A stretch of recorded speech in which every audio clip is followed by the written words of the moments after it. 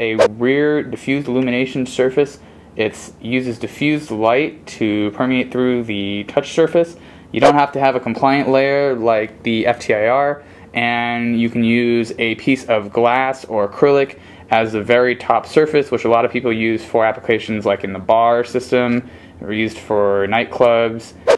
Uh, Microsoft Surface uses the same kind of thing. They use a rear DI system with a top layer of acrylic. Okay, so looking inside a typical rear DI box, you have your infrared illuminators. Here we're using a four bar kit from Environmental Lights.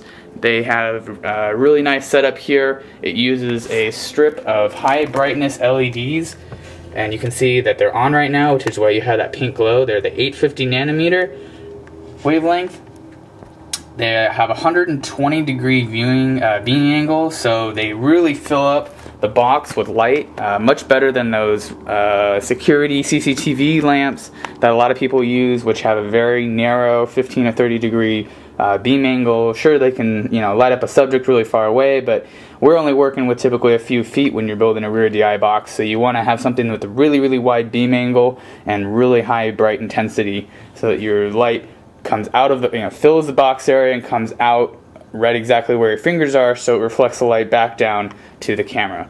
Uh, four bar kit consists of, and they also have two bar kits, but a four bar, a typical kit will consist of bars, connector wires going in between. They've also added this new thing, which is a dimmer. It's touch, so you turn on, turn off, and then you can also dim or not dim fainter and brighter. So you can make them less bright if you need to, more bright, just depends on what your setup is. Okay, for the rear DI setup, it has the 4 bar kit installed on every edge here. I've dropped some clear acrylic and then the rear projection 7512 on top. LEDs are on, and also, once again, perfect blobs. Now, the blobs are really good due to the rear projection material again, and you can see it's only as soon as you just touch the surface that you're getting really good blobs.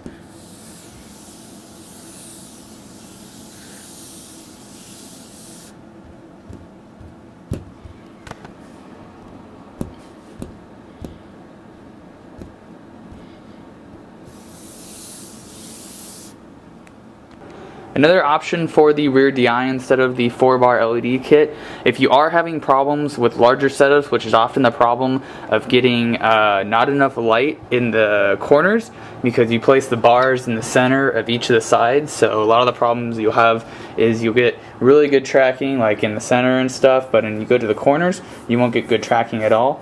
Uh, to make sure you don't get that, you can get the LED modules from Environmental Lights, which is basically a three uh, module is three LEDs of the highest brightness LED ribbon that they currently sell. It's 850 nanometer and 120 degree beam angle LEDs.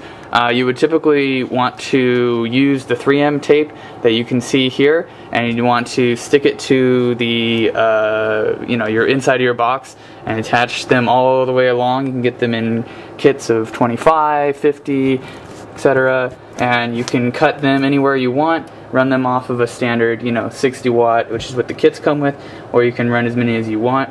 Um, I just have them strewn around the inside of the box here, um, and then you would want to take the uh, enclosed box because you would want to enclose the box because it's a rear DI setup, uh, but for just demo purposes here, uh, we can get pretty good results um, without the box closed. You'll get even more brighter blobs uh, with the box closed because the light will bounce around inside and only come out the top instead of coming out the large side over here. But as you can see, pretty similar results to the rear DI that we just saw using the LED bars. But this is a great way to make sure you don't get any, uh, you know, loss of infrared light at the corners because you can strew it anywhere you want. You can even double it back or do whatever configuration you want.